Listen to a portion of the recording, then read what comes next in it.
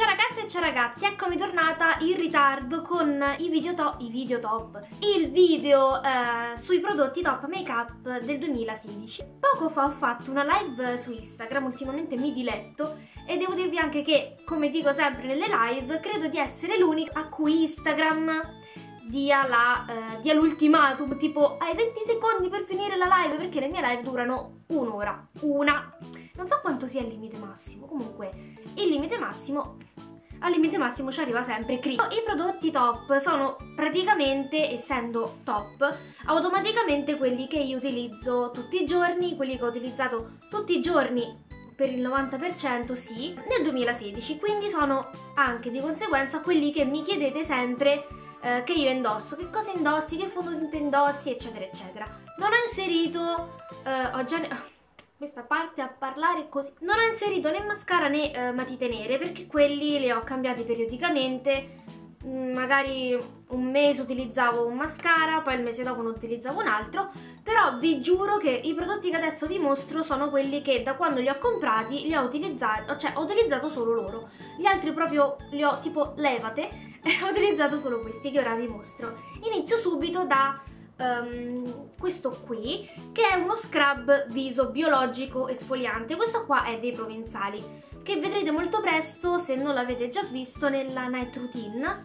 In pratica mm, in breve vi spiego un attimo io ho la pelle molto ma molto molto molto molto sensibile. Quindi appena tu mi fai così io divento paonazza come un peperone. Quindi tutti gli scrub che io ho provato in passato mi irritavano, ma non solo. Praticamente, vabbè, naturalmente la sensazione di pelle liscia c'era, però era soltanto temporanea perché a una certa mi uscivano fuori tutte le imperfezioni, quindi faceva l'effetto contrario. Questo qua invece è super, iper, mega delicatissimo, però nonostante questo dà un effetto comunque di pelle liscia al viso. Certo, essendo così, mh, mm, così lieve comunque eh, l'effetto scrabbante, io almeno lo devo fare una volta ogni due giorni. Però naturalmente non su tutto il viso. Io lo faccio solamente nella zona del naso soprattutto qua ai lati delle, delle narici qua sul mento e qua in mezzo alla fronte. Comunque quando vedo che io ho la pelle secca o comunque c'è qualche pellicina vado con questo e risolvo il problema. Non so dove potete comprarlo questo me l'hanno inviato però non mi pagano. Quindi niente però è molto buono. Come fondotinta tipo lo sto guardando tipo essere o non essere questo è il problema eh, sto utilizzando da quando l'ho comprato sia 3-4 mm, mesi il Superstay 24 ore di Maybelline. In realtà io prima, vi giuro, non mi ricordo quale usavo, credo sempre il Fit Me della Maybelline. Vabbè. E dato che mi è finito e dato che non l'ho più trovato, è sparito, ho voluto provare questo. Io sono molto diffidente nel provare nuovi fondotinta. Infatti ho detto, speriamo bene, vabbè proviamo. Naturalmente non dura di certo 24 ore, però, però sta lì.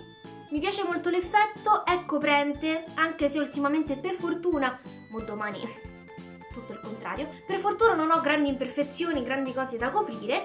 Eh, se volete anche scrivetemi se, se volete che faccia una, come si dice, un video sulla base, la foundation routine. Sì, faccio YouTube da 4 anni, ma ancora non so parlare i termini tecnici. Ha un effetto naturale sul viso, copre, una coprenza media e resta quelle 6-8 ore e non c'è neanche tanto bisogno di ritoccarlo.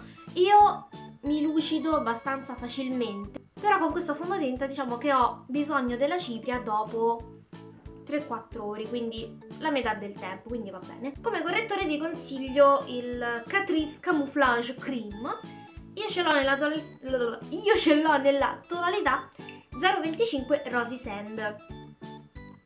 Oh, se riesco ad aprirlo. Ed è questo qua. Vedete una mazza. Comunque c'è già, già la sua bella conchetta. E essendo cremoso questo dovrebbe andare sulle imperfezioni.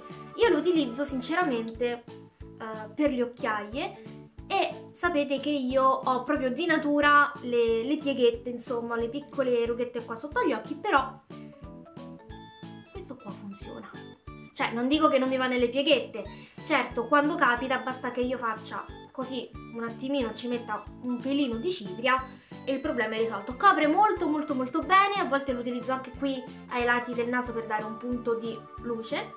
E niente, è veramente buono, costa pochissimo e l'ha promosso anche Clio, quindi non ero un amante del contouring fino a quando a Milano ho detto vabbè entriamo nel, al, nella, alla NYX e vediamo che ci sta. Mi sono presa questo e mi sono presa anche questa qua, allora in ordine. Questo è uno stick per il contouring, in realtà io odio gli illuminanti e sul mio viso fa da, cioè praticamente l'illuminante da un effetto tipo olio, quindi non mi sta bene, quindi la parte illuminante è intonsa, integra, non l'ho toccata, mentre ho abusato della parte, vedete, della parte del, appunto, della terra comunque stick, io questo qui lo uso così e così basta.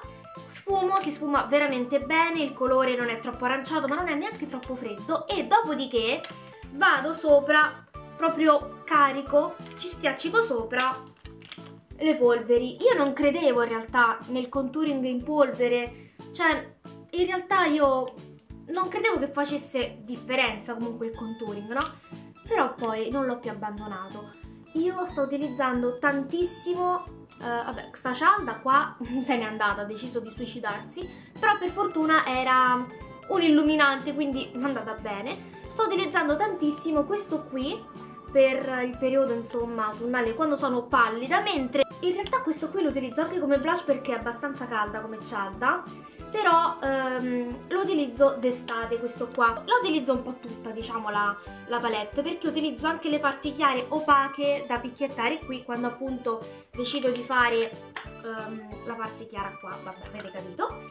Niente, è costata 22 euro, però ho detto la voglio provare, cioè ero curiosa. E questa qua è la numero 01, tutto riflettente, vedete? Niente. Per sbrigarmi come palette sugli occhi ho utilizzato praticamente questi colori qua della Naked ho utilizzato tantissimo Buck, Naked e ogni tanto ho utilizzato anche Gunmetal e eh, Smog vedete tranquilli, si sfumano super bene, sono super pigmentati e quindi vabbè, la palette Naked la conoscono tutti, quindi non mi dilungo oltre. Ovviamente non poteva mancare la categoria sopracciglia perché sapete che io da qua a qua, cioè dal punto più alto dell'arcata fino alla fine non ho sopracciglia. E um, questo non l'ho utilizzato oggi perché proprio mi manca proprio un millimetro quindi lo sto centellinando.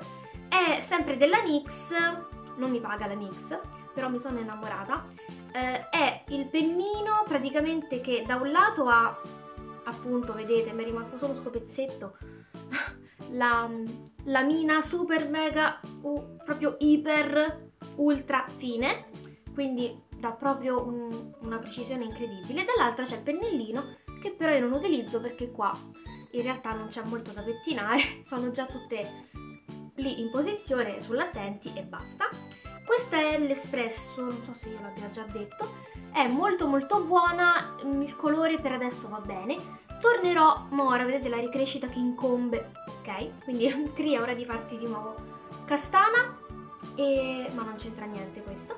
Ha una mina micro, infatti si chiama Micro Brow Pencil, ed è veramente buonissima, mi piace tantissimo. Mi dispiace perché devo comunque andare a Milano per ricomprarla o a Roma, ma credo che andrò a Milano. Dici, Roma è più vicina di Milano, sì, però voglio andare a Milano. Ultima categoria, matite labbra e tinte, che credo che sia la categoria che vi interessi di più, perché su ogni foto che metto su Instagram e sotto ogni video mi dite e mi chiedete che cosa hai sulle labbra, che tinta usi, che matita hai.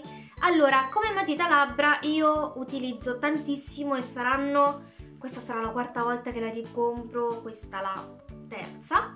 Allora, come matita più scura utilizzo della NYX scritto mauve, mauve, vediamo se riesco a farvelo vedere, è proprio un color malva, molto molto bello, opaco, la matita, la mina, non è né troppo dura ma né troppo morbida, quindi disegna il contorno labbra, però non va in giro, non si sposta, e di solito a quella matita ci abbino la tinta sempre della NYX Liquid Suede, la numero 04, che è questa, ora vi mostro che praticamente utilizzo tutti i giorni. Adesso la vedete lucida è quella più, più in basso, la vedete lucida, però quando si opacizza è una cosa meravigliosa. Come matita più chiara invece vado da Kiko, proprio vado, e prendo la 700, è un pochino più aranciata, un pochino più nude, più nude, è quella sopra. E questa qui o la utilizzo da sola perché dà un bellissimo effetto, anche questa lamina è ottima, è, è fantastica, mi piace tantissimo. E di solito, ma anche sopra l'altra matita, di solito io metto eh, sempre della NYX, però questa volta della, della linea Lingerie il numero, la tinta numero numero 06 Push Up. È questa qui di lato. E eh, vedete anche questa, vabbè, l'ho appena applicata, quindi è molto lucida adesso. È un pelino più rosata, però quando si asciuga anche questa, cioè sembra che abbiate il velluto sulle labbra. Cioè sembra che abbiate proprio una pellicola, non evidenzia le pellicine, nulla assolutamente. E quando invece voglio andare proprio a caricare eh, voglio andare a caricare le labbra tantissimo, non vado sul classico rosso, però vado sempre con una tinta di NYX, eh, l'ho messa anche recentemente su Instagram, questa è sempre la NYX Liquid Suede, NYX paga, sto scherzando, però se vuoi. E questa è la numero 03. Ora vi faccio lo swatch anche di questa ed è appunto ovviamente quella più scura.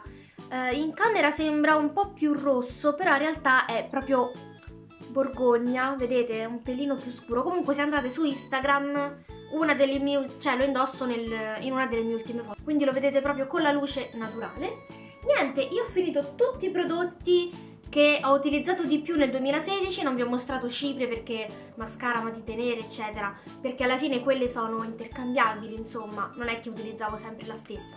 Io spero che questo video vi sia stato utile, ecco, sono già macchiata tutto. Io spero che appunto questo video vi sia stato utile, fatemi sapere quali sono i prodotti che avete utilizzato, se sono economici meglio ancora così li vado a comprare anche io.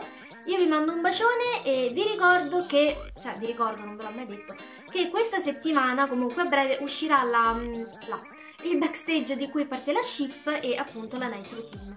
Vi mando un bacione e ci vediamo al prossimo video. Ciao!